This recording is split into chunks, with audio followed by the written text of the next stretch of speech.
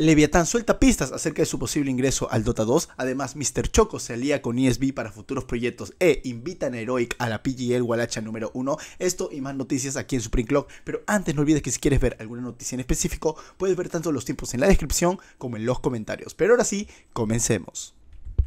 Vale, hablemos directamente acerca de Leviatán, y es que recientemente en la plataforma de X, tanto el CEO como el director deportivo indicaron lo siguiente, por parte del CEO, Fernando Díez, mandó su GA, y por parte del director deportivo de Leviatán puso It's in the back, frase muy icónica, entonces estas dos frases justo tienen mucha relación con la comunidad y con el juego de Dota 2. Claro que al soltar sus pistas, esto aún deja muy al aire qué es lo que se pueda venir, pero acá justo en un stream de Jericho se rotó la siguiente información recientemente, muchas gracias a Fine por pasarme clip, corre video. A ver, ¿cuál, cuál es el team de, de, de Chris, de- del pastel, este, Beto o Chompi? ¿Tú sos el team de, En el pastel, no? ahí está Chompi, No, no, pero él tiene una propuesta para armar un ¿Ah? team, pero están Yo, viendo todavía que yo no. sé que van a hacer Leviatán, que Leviatán les está ofreciendo 1500 dólares mensuales.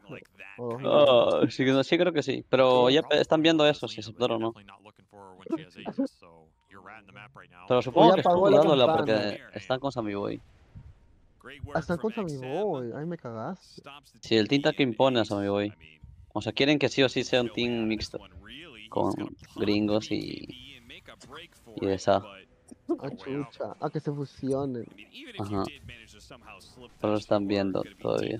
Y como se puede ver, la escuadra de Leviatán estaría interesada en fichar algunas personas. Entre ahí corre el nombre de Chris, de Parker, pero el que se ha hecho más fuerte es el de Sammy Boy. Y es que también en su Twitter recientemente publicó este detalle. Donde Sammy Boy etiqueta a Davai Lama y le dice voy por ti. Esto podría dar referencia de que esta escuadra de Leviatán podría estar entrando a Sudamérica y por esa misma razón Sammy Boy buscaría en ver a Davai Lama. Recordemos que la escuadra de Bami Soy, donde jugaba Sammy Boy, hizo un disband por completo y ya no estarían continuando todos ellos. Y por su parte, Red Monster recientemente en el stream de Pancho, justo cuando se hablaba del tema de Leviatán, soltó al parecer las regiones de donde provenían los jugadores que estarían entrando al nuevo roster, en el que indica un carry de Norteamérica que creo que eso da más por sentado que va a ser Sammy En el caso de esto, un medio y support que vendría de Europa del Oeste, si tú me dices un medio que esté disponible, pensaría en Stormstormer. En el caso de support no se me ocurre alguien ahorita, un off desea, mm, no sé, Ghost. Y en el caso de un support de Sudamérica, pensaría en un posición 5 y creo que ahí encajaría quizás el rol de Stinger. Pero es solo un rompecabezas que estoy tratando de armar de manera rápida. Si tú tienes alguna idea, pónmelo en los comentarios como para ir leyéndote.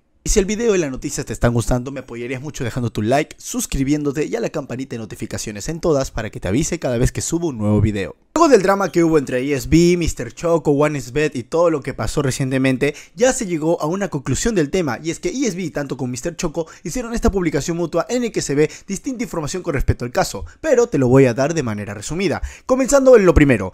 Primero, ESB y Mr. Choco aclararon sus puntos de vista acerca de la versión de los hechos y ya concretaron que todo está bien. Lo siguiente es que no toda la información revelada por los terceros está al 100% completo. Ya en su momento creo que cada uno revelará cómo pasaron las cosas. Con respecto a la relación que hay entre Mr. Choco y también con ESB, todo va de la mejor manera y hasta planean trabajar en planes futuros, que creo que ya sabemos a qué eventos se refieren. Por último, y uno de los más importantes, tanto ESB como Mr. Choco están teniendo una buena relación en términos con OneXBet, que es la encargada de brindarles el feed de las partidas, en este caso de la Dream League 22. Que esto ya terminó de la mejor manera, se podría decir. ¿Tienes alguna, alguna información o algo que quieres saber acerca del problema? Como bien dijo Choco en algún momento, él ya va a revelar un poco más a detalle qué fue lo que pasó en verdad, como para descartar el resto de la información que supuestamente se había dado en otros medios. Además, PGL ya hizo oficial el anuncio de los invitados para su primera edición de la PGL Walacha, en este caso la temporada 1. Los invitados serían Team Liquid, Gaming Gladiators, Team Secret, Team Falcons, Beb Boom, Team Spirit, Extreme Gaming, Aurora, Shopify Rebellion y Heroic, donde también se jugarán unas qualifiers por 6 cupos. Y ojo, si es que son 6,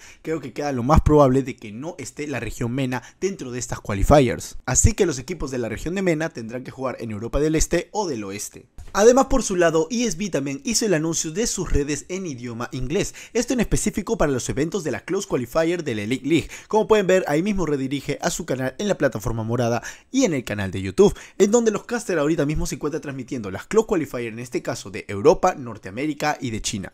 Y por último se hace el anuncio de la One Win Series Dota 2, donde están invitados los siguientes equipos: Team Spirit, Team Liquid, Liga Team, One Win, PSG Quest, Mouse Esports, Entity y Virtus Pro, los cuales van a estar luchando por un prize pool total de 100 mil dólares, un evento de categoría Tier 2 que va a transcurrir justo entre las fechas del 16 al 19 de marzo. Así que dime, ¿tú qué opinas acerca de este nuevo roster de Levetán? ¿Le ves mucha fe? ¿Quién crees que sean los que conformarán ese nuevo equipo y en qué región jugarían? Además, ¿qué opinas de la relación entre Mr. Choco con ESB ahora que se han aliado? ¿Crees que ahora Mr. Choco estará en la League que se hará acá en Lima o no crees del todo? Pónmelo en los comentarios, te estaré leyendo y no olvides seguirme en todas mis redes para más contenido Dota 2 a nivel nacional como internacional.